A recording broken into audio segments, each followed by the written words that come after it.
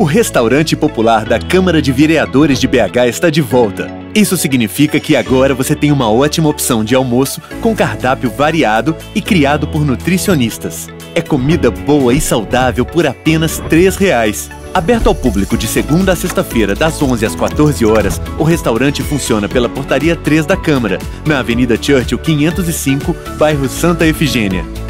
Na Câmara é onde a cidade se encontra.